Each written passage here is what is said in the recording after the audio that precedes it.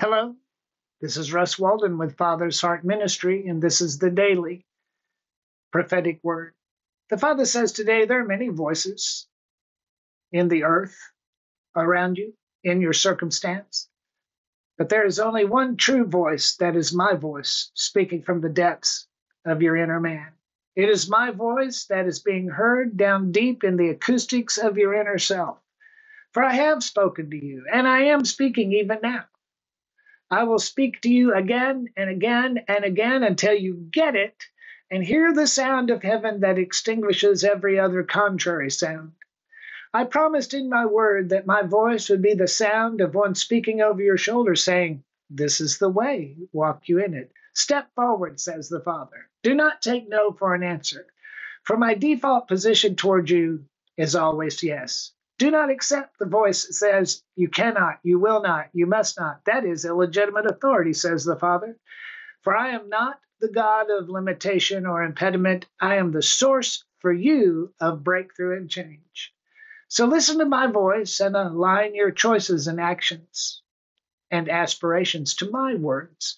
My words will work in you, and you will walk out the figment of restriction that the enemy has projected as a lie against my promise.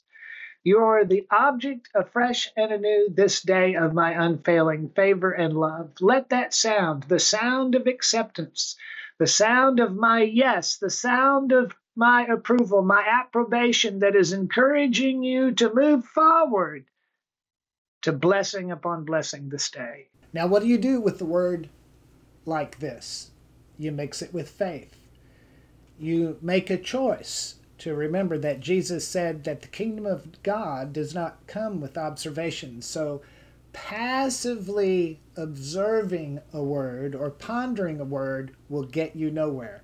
You need to take the word and activate it by your faith. And one of the most powerful ways to get in abject unbelief or absolute faith is in the area of giving.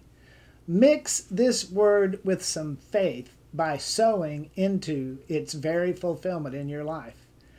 You see, it, the faith that it takes to give into a prophetic word is equivalent to the faith involved in bringing that very word to pass in your situation. Ask me how I know. Act now, because your response time in giving is a metric for God's timing in bringing this breakthrough to pass in your situation. Go to fathersheartministry.net, click on the donation button, and let your faith soar. The mailing address is Father's Heart Ministry, P.O. Box 14127, Springfield, Missouri 65814. Or you can text the word prophet to 44321 if you use Cash App, dollar sign prophetic now, if you use Zelle, propheticnow at gmail.com. I want you to know that I am here to be the prophet in your life. Second Chronicles 2020 says, If we believe the prophet, so shall you prosper. I want you to notice how we misread that verse so much we we think it says believe the prophecies. It doesn't say believe the prophecies. It says believe the prophets. So shall you prosper. And how can you believe in the prophet unless you have one in your life?